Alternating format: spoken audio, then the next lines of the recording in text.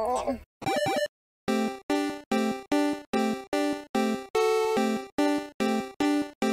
man.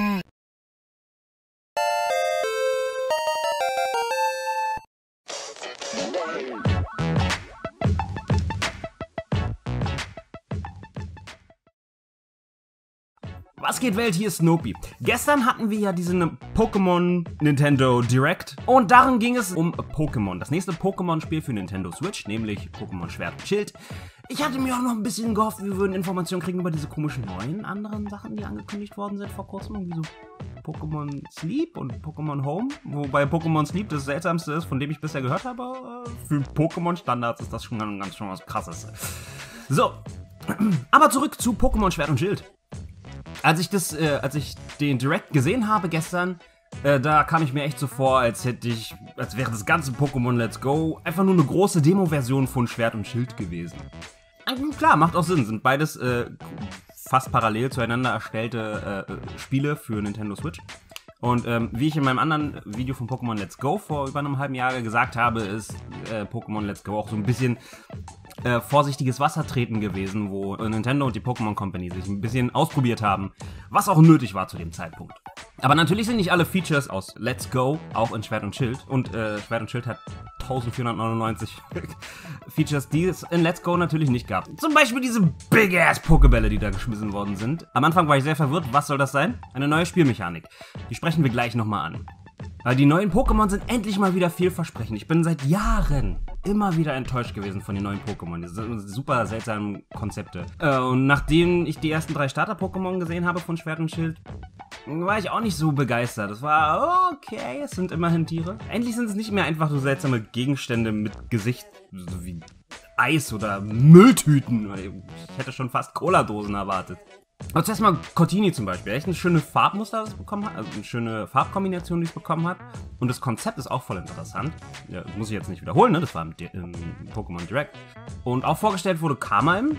Gefällt mir auch. Sieht halt auch endlich mal wieder aus wie, wie was ist ein tierhaftes Pokémon. Also Pokémon sind in der Pokémon-Welt ja das, was die Tiere für uns in der Welt sind. Gewissermaßen. Flora und Fauna. Und diesen Kamaim kann ich zum Beispiel auch ab, endlich mal wieder abkaufen, äh, dass es ein Tierersatz sein soll. Und nicht einfach nur irgendein Vieh mit Stein als Rüstung oder so. Äh, bei Kamor habe ich mir ein paar Fragen gestellt. Wie funktioniert das in dem Spiel mit dem Fliegen? Muss man Kamor fangen und dann kann man das Fliegen benutzen, wie wir es kennen? Oder ist es halt nur so ein, so ein, ein Beispiel für ein Flug-Pokémon, das fliegen kann? Weil das wäre dann halt ziemlich lame, das hatten wir ja bisher auch immer. Da hätte ich mir noch ein bisschen Informationen drüber gewünscht. Aber das kommt dann mit Sicherheit noch in den nächsten Monaten. Aber diese beiden legendären Pokémon, äh, wie hießen die? Äh, keine Ahnung. Und die waren wieder etwas enttäuschend. Das ist halt einfach, die sind mal wieder Kreativität pur. Äh, weißt du, einfach so ein Wolf mit einem Schwert im Maul und ein Wolf mit einem Schild designen. So, okay, super. Ey, wir müssen jetzt irgendwie aber auch Schwert und Schild in unser Spiel reinkriegen. Ja, mach ein Wölfe! Ja, cool. Aber, äh, mh, wir haben, ey, wir haben eine freie Kamera. Äh, mit einer frei bewegbaren Kamera sind wir endlich mal im Jahr 2019 angekommen. Wir hatten halt bisher immer ein äh, Mainline-Pokémon-Spielen halt immer nur eine fixe Kamera. Oder eine Kamera, die sich mitbewegt hat und, und äh, mal kurz geschwenkt hat oder so. Aber ähm, frei bewegbare Kamera ist eigentlich auch endlich mal nötig. Weil diese Naturzone, die geht auch so, es ist halt so mehr Richtung Open World, sind jetzt die, die Routen abgelöst durch die Naturzone und man rennt halt wie bei Zelda halt so quer über die Zone und, äh, und kommt dann halt zur nächsten Stadt oder so. Ich will's sehen. Ich will's wissen. Aber was halt richtig cool ist, ist, das, das scheint halt so eine MMO-Area zu sein. Wenn du da halt rumrennst, dann findest du andere Spieler. Und zu viert könnt ihr euch auch Bosskämpfen stellen. Also wie bei Raid-Kämpfen aus Pokémon Go. Das finde ich echt sehr schön. Also ich, das, das hätte ich auch in, in Pokémon Let's Go sehr schön gefunden. Äh, finde ich auch in jedem, fände ich auch in jedem anderen Pokémon-Spiel cool. Aber es ist schön, dass es endlich Einzug erhalten hat. Und äh, wo wir da gerade beim Pokémon Go sind, das hat mir ein bisschen gefehlt. So ein bisschen die Anbindung zu Pokémon Go. Mit Let's Go äh, war da halt so ein super schöner Start, dass es halt so nah bei, miteinander koexistiert. Let's Go und Go. Und ich hatte gehofft, so sehr gehofft, dass das bei Switch irgendwie eine Fortsetzung findet. Scheint aber leider nicht so zu sein. Na ja, gut, muss man mitleben. Auch vorgestellt wurde diese komische Dynamaxierung. Das ist, das ist so eine seltsame Neuerung, die sich auch irgendwie nicht so wirklich mit den anderen Regionen versteht. Ne? Warum sollte es nie irgendwo in Kanto, Yoto oder sonst irgendwo diese Dynamaxierung gegeben haben und jetzt plötzlich einfach so, oh, wir haben 2019, guck mal, was entdeckt wurde. Dynamaxierung. Und vor allem ist es die einfallsloseste. Weißt du? Äh, was machen wir jetzt als supergeiles Feature, nachdem wir schon Mega-Entwicklungen und Z-Attacken hatten? Äh, machen wir sie einfach groß. Ganz groß. Ja.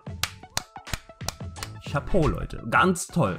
Also es könnte halt sein, dass es, dass es vielleicht irgendwie so ein Callback ist zu den, zu diesen, wie heißen die, Wächter-Pokémon oder so, aus äh, Pokémon Sonne und Mond. Wäre möglich, dann wäre zumindest aus der Lore-Perspektive so eine Verbindung da, aber ansonsten ist einfach super strange. Einfach so ganz plötzlich aus dem Nix. Ach, guck mal, übrigens können Pokémon riesig werden. Und übrigens hat jemand vorausgesagt, dass genau dieses Feature, diese Dynamaxierung, eine Spielmechanik sein wird. Und das kam in dieser Vorhersage auch in Kombination mit einer anderen ähm, Spielmechanik als Information und noch weitere Informationen in dem Leak. Äh, das trete ich jetzt nicht alles breit, denn wenn du ein bisschen so bist wie ich, dann willst du die Neuerungen lieber aus offizieller Quelle oder aber am besten direkt aus dem äh, Spiel selber äh, erfahren, als durch so ein Psst, psst, hey, willst du Info? Ich darf eigentlich nicht darüber reden, aber guck mal hier. Leaks. Aber für die, die es trotzdem so wollen, habe ich den Link zu dem Beitrag in die Kommentarbox gepackt. Also, du weißt schon, da in der Nähe vom Abo-Button, direkt über der Kommentarsektion. Hey, ich, ich sag's ja nur. So, dann wurden uns auch noch unter anderem äh, Delion und sein Bruder Hop vorgestellt. Delion, ich habe keine Ahnung, äh, ähm, was sein, wie seine größere Rolle aussehen wird. Der scheint ein wichtiger Homeboy zu sein, aber äh, für genaueres halten sie sich natürlich in Schweigen. Aber wenn man mal genau aufpasst, in, der, in, in den Szenen, in denen Delion vorgestellt wird, macht er so Mundbewegungen. Das hatten wir halt schon ein paar Mal bei äh, Pokémon. Aber ich weiß nicht, das sind halt so, das unterscheidet sich ein bisschen von dem, was wir bisher hatten. Meistens hatten wir in, in, äh, in, in so Sequenzen ähm, Momente, in denen Figuren, weiß ich nicht, eine Pose machen und dann halt reden. Aber das sieht bei Delion ein bisschen anders aus. Es sieht aus, als wäre das in einer Cutscene. Und da frage ich mich, ob es halt so eine Cutscene wird und dann kriegen wir halt einfach nur Text ins, äh, ins Gesicht geknallt. Aber das sieht in diesem Screenshot jetzt auch nicht so aus. Ne? Kann natürlich einerseits sein, dass sie einfach Text rausgeschnitten haben. Aber es könnte, und das fände ich cool, auch darauf hindeuten, dass wir eine Sprachausgabe bekommen. Das fände ich ja mal super. Ich kann es mir schwer vorstellen, ein bisschen, weil es halt nun wirklich noch nie da gewesen ist im Pokémon-Hauptspielen. Äh, Aber das wäre super. Ich würde mich da so drüber freuen. Vor allem, da würden wir vielleicht, da spinne ich nochmal weiter, da würden wir vielleicht sogar äh, noch die deutschen Synchronstimmen aus den Pokémon-Animes ins Spiel bekommen. Möglicherweise. Ich verspreche nichts, aber das wäre so cool. Aber ich glaube, ich spinne ein bisschen zu weit. So weit wird es wahrscheinlich nicht kommen. Aber falls doch, du hast es hier zuerst gehört. Und unser Rivale mit diesem kreativen Namen Hop, den wir auch nicht mehr benennen dürfen. Das ist voll blöd. Wir dürfen seit Ewigkeiten unsere Rivalen nicht mehr benennen. Mano. Ähm, der ist mir schon wieder zu freundlich. So, ich, ich hatte gehofft, dass es, dass es nur in Let's Go so ist. Also, was heißt nur in Let's Go? Das heißt, seit, viel, seit ein paar Jahren haben wir Rivalen, die viel zu nett sind. Aber warum können wir nicht mal einfach mal wieder so ein richtig schönes Arschloch als Gegner kriegen? Als Rivalen. Weißt du, einer, der immer große Klappe reißt und ordentlich ins Gesicht bekommt und dann sagt, äh, Mann, bist du gut, ey. Aber nein, es muss immer so, hey, hey, alles cool, mein Freund. Hey, lass uns unsere Stärke testen. Hey, cool, irgendwann werde ich schon stärker als du. Naja. Was mich aber auch sehr begeistert hat, waren die Arenen. Die sind nämlich echt hübsch und haben endlich richtiges Arena-Feeling. Das wurde in Pokémon Let's Go ja schon ein bisschen angedeutet. Ne? Da, da wirken Arenen ein bisschen mehr wie Arenen mit Zuschauertribünen und sowas, aber die waren halt irgendwie immer unbesucht. Aber Pokémon Arena-Kämpfe sind im Pokémon-Universum doch immer so voll dieses, voll dieses Event. Und äh, das scheint hier jetzt endlich aufgegriffen zu werden, weil zumindest scheint es in diesem Direct-Footage, äh, was wir da bekommen haben, so, als, als äh, würde das Publikum richtig mitfiebern und man würde während der Kämpfe zwischendurch immer mal so, so einen Kameraschwenk ins Publikum bekommen. Das wäre ja cool. Und noch besser wäre es, wenn es eine Spielmechanik wird. Weißt du? Ähm, so, eine, so eine Kombination aus also dem Arena-Kampf, den du mit dem Arena-Leiter machst, und diesen, und diesen Schönheitswettbewerben, die wir aus anderen Pokémon-Teilen kennen, wo äh, Attacken besonders cool oder hübsch oder äh, was gab's da noch? Schnell oder so sind oder so. Und damit steigert man dann noch das Publikums äh, Anfeuerungsmeter. Wie cool wäre das denn?